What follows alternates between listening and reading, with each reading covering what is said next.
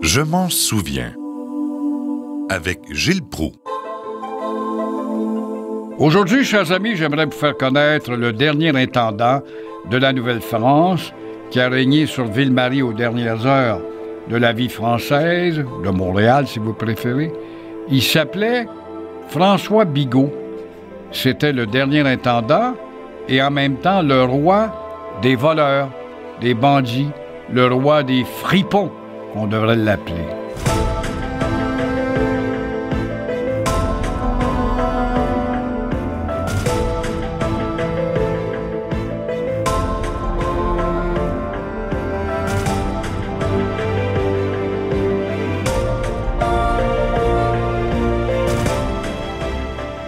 Autre temps, autre messe, dit justement le vieil adage. C'est peut-être vrai, mais plus ça change, plus c'est pareil. Si on répète ça souvent et c'est encore valable, tout ça est tout aussi valable, vous allez le voir quand on parle de Bigot. Notre histoire a ses figures glorieuses qu'on admire.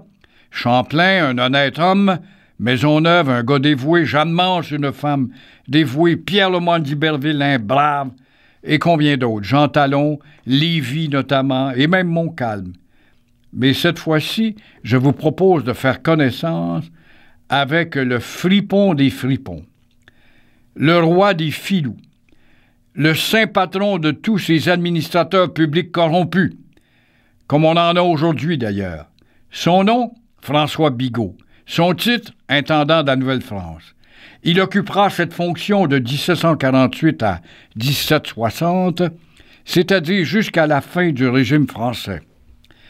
Et euh, si vous croyez que collusion, corruption, favoritisme, surfacturation, cupidité, malhonnêteté, tripotage, gaspillage sont l'apanage des milieux d'affaires et des gouvernements modernes, détrompez-vous, Bigot et sa bande pourrait leur en montrer, leur donner des leçons.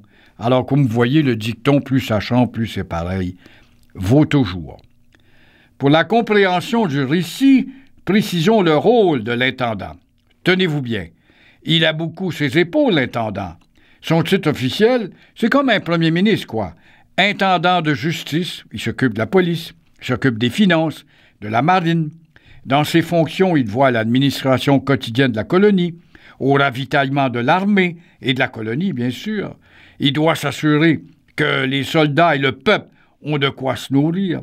Il s'occupe de la sécurité publique. C'est lui le responsable de la justice et de son application de la justice, de voir à ce que la police fasse son devoir, voir à ce que la voirie soit bien entretenue, il doit s'assurer du peuplement de la colonie, du développement économique, l'agriculture, le commerce, l'industrie, les communications. Alors il gère les finances et doit remettre un rapport annuel détaillé de la situation financière, politique, économique et militaire de la colonie.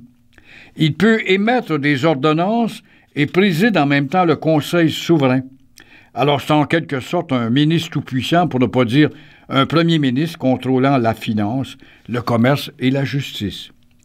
Alors, vous imaginez-vous toutes les compétences qu'il fallait posséder pour être un intendant?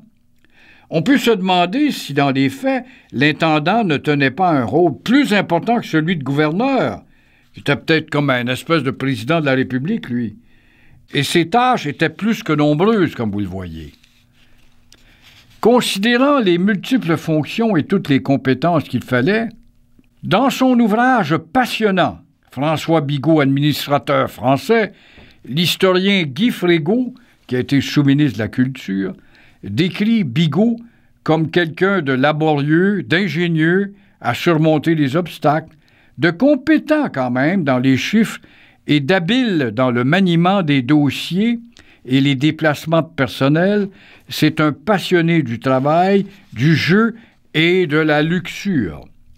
Originaire de Bordeaux, grande cité commerciale, important port de mer, François Bigot naît le 30 janvier 1703 dans une famille d'officiers de justice au service du gouvernement royal. Et après des études en droit, il entre à 20 ans au service du ministère de la Marine, duquel relèvent les colonies. Alors lui faudra quand même 16 ans de loyaux service pour obtenir son premier poste d'intendance chez nous. À 36 ans, il est nommé commissaire ordonnateur à l'île Royale. Aujourd'hui, c'est le Cap-Breton, ça, l'île Royale. Là où est érigée la forteresse de Louisbourg. Il aurait préféré un poste d'intendance en France, mais on lui a fait comprendre qu'il devait d'abord commencer au bas de l'échelle et il va faire ses classes dans les colonies. Alors, aussitôt débarqué, il fait rénover le logement qui lui est destiné. Il veut que ce soit à la hauteur de son titre, monsieur. Après tout, il tient le rôle de l'intendant sur l'île de Montréal, même s'il relève de l'intendant de la Nouvelle-France. Le ministre lui reprochera ses dépenses, l'avertira d'ailleurs de ne pas trop commencer à dépenser, bien sûr, on n'écoute pas. Heureusement, se dit-il, il a transporté avec lui ses beaux meubles et sa précieuse argenterie. Il a évidemment des domestiques pour le servir, exige qu'on l'appelle Messire, un grand titre, convaincu d'être plus important que le gouverneur. C'était tout un effronté. Un peu snob et arrogant, n'est-ce pas? Bigot n'est pas heureux à Louisbourg. Alors c'est une ville sale, désorganisée, c'est un vache chantier, tout est en construction tout le temps. Il prend conscience de la corruption là-bas.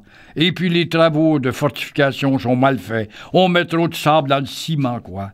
Les ingénieurs se limitent à faire et défaire et s'en mettre plein les poches. Vous voyez que rien n'a changé, hein? Les officiers exploitent leurs soldats en retenant l'argent qui leur est dû. Ça va mal à l'île royale. Il y a même une mutinerie et Bigot en sera en partie tenu responsable. Messire, oui, Messire Bigot, est un homme d'action et de solution. Il tente de redresser la situation, mais n'obtient pas l'appui des autorités. Par exemple, il voudrait bien développer l'agriculture, mais il lui faudra des agriculteurs. Il souhaite relancer l'industrie de la pêche, sans grand succès. Il fait ce qu'il peut. La grande leçon qu'il tirera de son passage à Louisbourg, c'est apprendre comment fonctionne la corruption. Parce que Louisbourg n'est pas qu'une forteresse, c'est aussi un important centre de commerce. Alors, pas plus fou qu'un autre, Bigot montra quelques petites affaires en parallèle afin d'arrondir ses fins de mois et de devenir riche. Alors, malgré sa bonne volonté, la forteresse demeura inachevée lors de l'attaque anglaise en 1745. Il profitera de la guerre pour s'enrichir en armant et finançant des corsaires dont les prix seront revendus à la France avec de gros profits. Hélas, le 28 juin 1745, le drapeau anglais flotte au-dessus de la forteresse de Louisbourg. Après six ans, Bigot retourne en France. Convaincu d'avoir fait son travail, le ministre de la Marine lui demande de fermer les livres de justifier certaines dépenses exagérées, de s'expliquer parce qu'il y a, selon des délateurs, monté des affaires pour son compte personnel. Il faut croire que Bigot n'est pas si pire que ça, puisque le roi finira quand même par lui confier un poste d'intendant en Nouvelle-France, c'est-à-dire chez nous, en remplaçant le compétent et très dévoué Gilles Occard. Comment expliquer qu'on a fermé les yeux sur ses fautes, lui qui avait déjà commencé à tricher?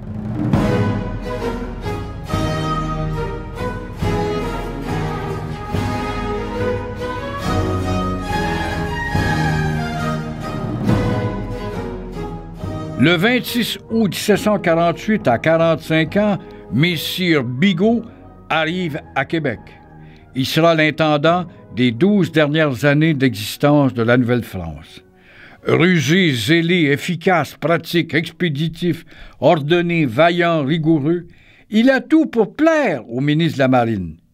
Mais aussitôt descendu du bateau à Québec, il dépense en grand pour transformer le palais de l'intendant en somptueux petit Versailles. Avant de quitter la France, il s'est associé à Gradis, un prospère négociant juif de Bordeaux, sa ville natale. Celui-ci enverra d'ailleurs des cargaisons de marchandises, de l'eau de vie, du vin que Bigot liquidera à gros prix dans la colonie. Alors il demande à son ami juif, M. Gradis, envoie-moi toutes sortes de choses de luxe que je pourrai vendre. En plus, Bigot convaincra le roi d'utiliser des navires de Gradis pour expédier des marchandises en Nouvelle-France. Pourquoi prendre les navires du roi? Je n'aurais pas le droit en principe pour faire du commerce personnel.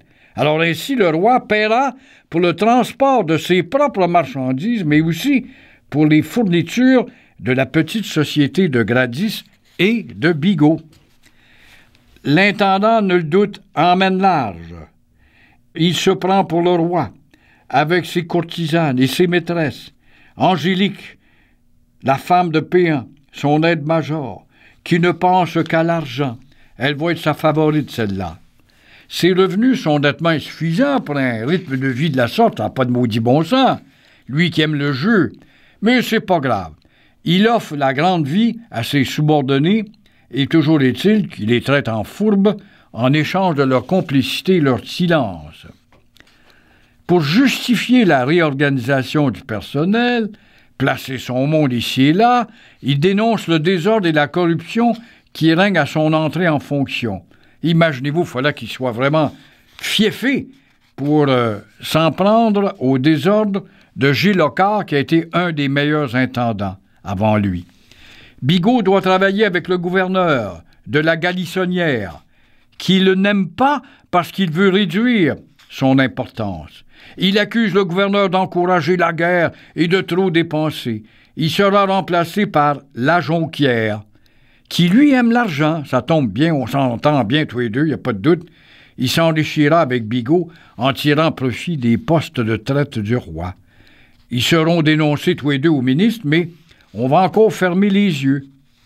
L'intendant bien Montréal, qui déjà dans son temps, nous apprend l'historien Frégo, a des allures nord-américaines précédé d'un important cortège composé de son maître d'hôtel, sa gouvernante, son argenterie, ses voitures, pleines de ses biens luxueux, Bigot décide de s'établir à Montréal l'hiver, dont le climat est moins froid qu'à Québec.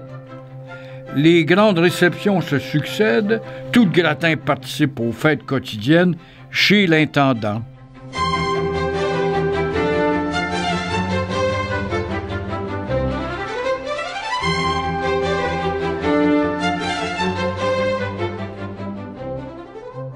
Tout en accomplissant ses tâches avec efficacité, Bigot fait gonfler les prix.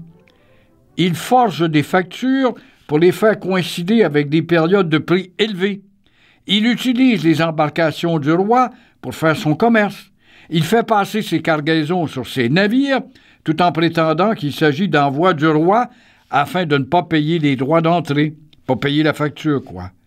Un exemple éloquent de cette maison de commerce bien particulière, mise sur pied avec des complices, que le peuple surnommait la friponne. Alors, si vous allez dans le Vieux-Montréal, ouvrez les yeux, vous allez voir, il y a une rue dans le Vieux-Montréal qui porte le nom de la friponne et nous rappelle où ça se passait, cette tricherie. Mais pourquoi donc la friponne? Simplement parce que c'est le lieu de la tricherie, des tractations hypocrites et tout en dessous de la table, quoi. Le ministre de la Marine se plaint qu'on l'a informé des situations irrégulières, l'existence d'une clique. Bigot va nier ça catégoriquement. De 1749 à 52, la colonie traverse des années difficiles. Ça achève. On prépare la guerre.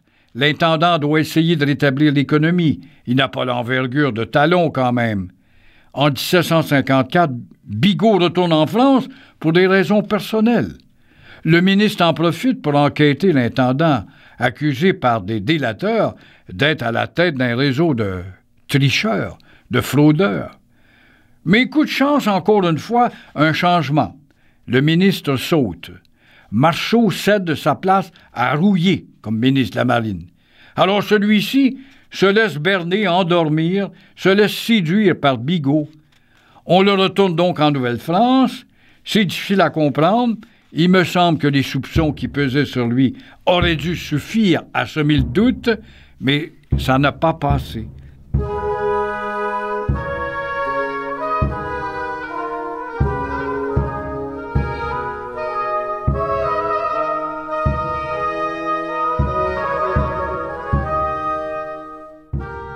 Les années 1755 à 60 seront des années encore plus difficiles.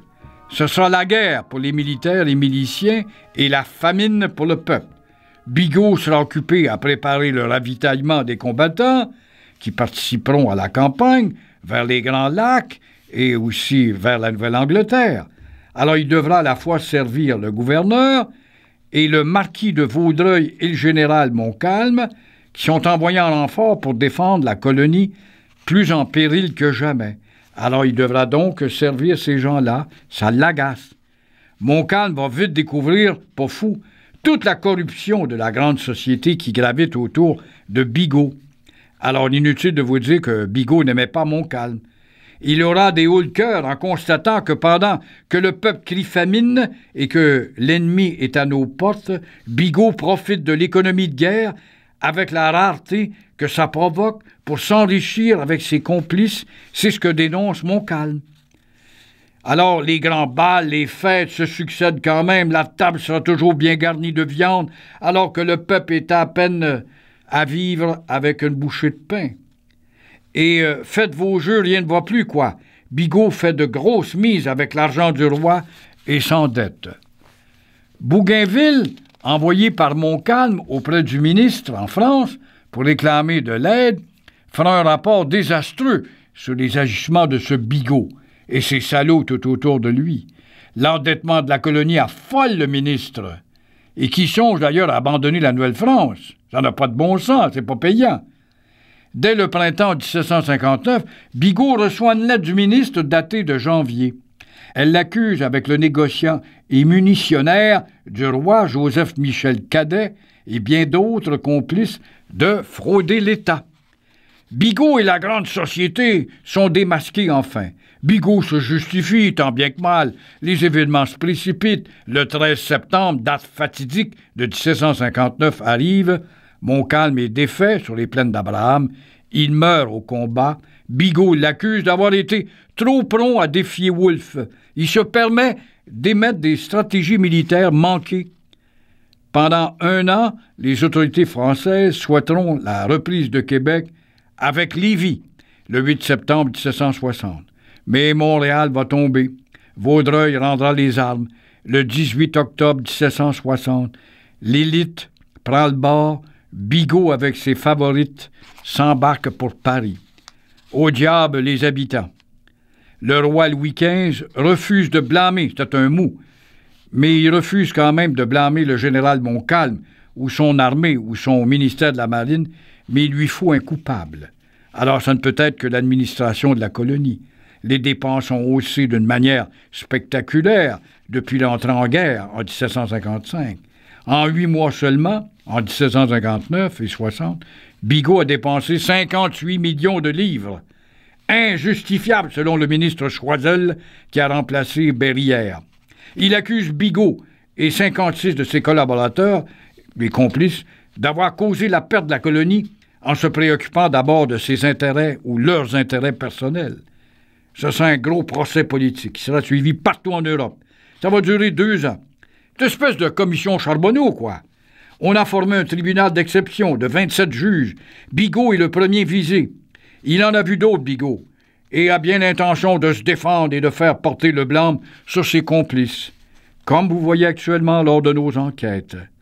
Emprisonné à la Bastille, il prépare sa défense, mais il n'est pas dans une cellule là, avec un verre d'eau et un morceau de pain noir, lui, à la Bastille.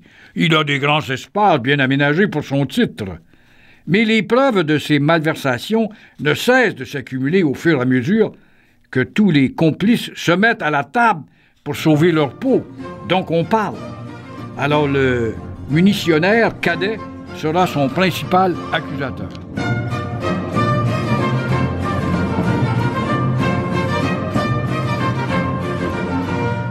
Le procès connu sous le nom de l'affaire du Canada passionnera l'Europe.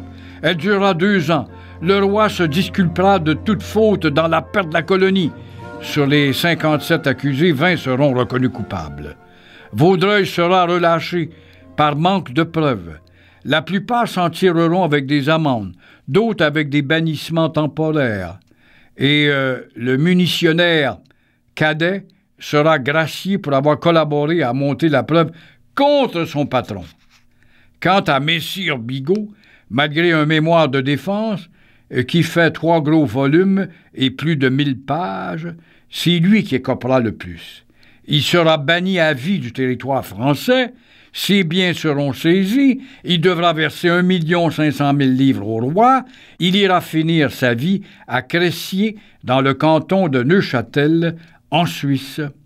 Il vivra sous un autre nom, un nom d'emprunt, celui de François de Bar. Jusqu'à la fin de ses jours, il tentera d'obtenir un certificat de réhabilitation, mais en vain. Mais allez pas vous imaginer qu'il était malheureux en Suisse. Bigot vivra dans la honte quand même jusqu'à sa mort en 1778, mais probablement entretenu par le riche commerçant, son ami Gradis, qui n'a jamais été embêté ou dénoncé par lui, comme l'a expliqué Denis Vaugeois dans un de ses récits historiques. Doit-on voir dans le fraudeur Bigot le premier responsable de la perte de la Nouvelle-France, ou dans le gouvernement royal qui n'a rien fait pour corriger un système gouvernemental colonial qui le savait inefficace et surtout corrompu? Que retenir de cette histoire, chers auditeurs? La fin du régime français ressemble à un déclin généralisé. Rien n'allait plus. Peut-être devons-nous voir dans cette fin de régime les premières étincelles qui enflammeront la France un peu plus tard lors de la Révolution française. Bigot était un salaud, il n'y a pas d'autre mot, comme la plupart de ses complices d'ailleurs. Mais le système politique et l'organisation économique de la colonie étaient ainsi faits que pratiquement tout le monde trichait à cette époque, faisait de la contrebande et profitait de la situation aux dépens du bon peuple encore une fois. Quoi de nouveau, mes chers amis? On aura dénoncé la corruption, intenté un procès, emprisonné des coupables, mais on n'est pas arrivé à empêcher que ça se répète. Pour preuve, on n'a qu'à songer à ce qui se passe encore de nos jours chez nous. Comme je disais en ouverture, plus ça change, plus c'est pareil.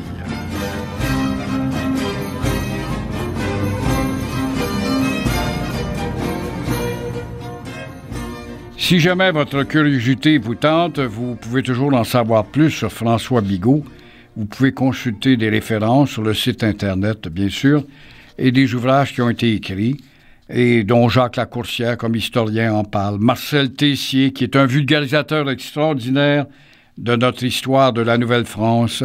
Il a publié, peut-être il y a une dizaine d'années, deux ouvrages, deux plaquettes en quelque sorte, qui rassemblées ferait un excellent livre d'histoire de vulgarisation. On dit toujours, avez-vous des ouvrages, on trouve ça compliqué, il y a des dates des traités, etc. Pourtant, il faut vraiment, pour assimiler l'histoire, la voir en parlant ou la lire tout en parlant. Le bigot, qui n'est pas un bel exemple, comme vous voyez, le dernier intendant, un roi des fripons, a eu à être confronté à des gens honnêtes qui l'avaient carrément dénoncé. Je pense à Montcalm, qui a fait, en tout cas dans son geste, même s'il a perdu, il se serait battu précipitamment, il avait quand même des lettres de noblesse, ne serait-ce que la victoire de Carillon, à hein, Ticonderoga, dans l'État de New York. Ses autres victoires aussi auparavant et sur le terrain européen. Livy, qui était un bras droit de Montcalm, qui a servi ici avec intensité et avec honnêteté jusqu'au bout, croyant justement à la survie de la Nouvelle-France, militairement parlant, lui quand même, mais c'était un brave. Il va être fait chevalier en rentrant en France après le régime de la Nouvelle-France ici. Ocar, Gilles Ocar, l'intendant, à qui les gens de Trois-Rivières doivent justement les forges du Saint-Maurice, qui a développé, tout comme Jean Talon.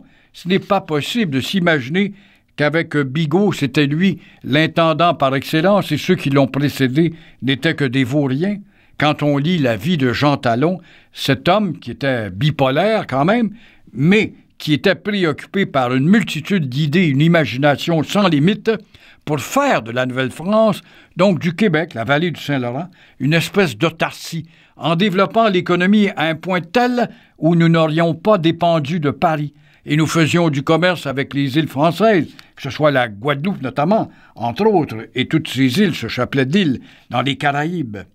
Calière, qui lui quand même va aussi être un homme de paix, qui va faire des démarches diplomatiques pour essayer euh, d'installer un régime de paix pendant longtemps et réussira en 1701 avec la Grande Paix de Montréal, même à Amadou, imaginez-vous, les Iroquois qui étaient nos pires ennemis à l'époque.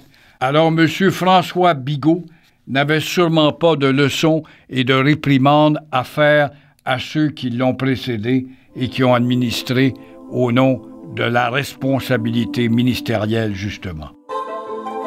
Alors, comme je vous le disais, ce, le bigot, ce grand messire qui ne respectait pas ses prédécesseurs, a été une insulte pour ces figures glorieuses qu'on admire et après avoir fouillé sous toutes les coutures leur cheminement, leur vie, les Champlain, les Maisonneuve, les Jeanne Mance, les Pierre Lemoine d'Iberville, Charles Lemoine même et combien d'autres, ça fait bizarre de voir, quand on est pris au piège, qu'on a tendance à mettre le blâme chez ceux qui vous ont précédé.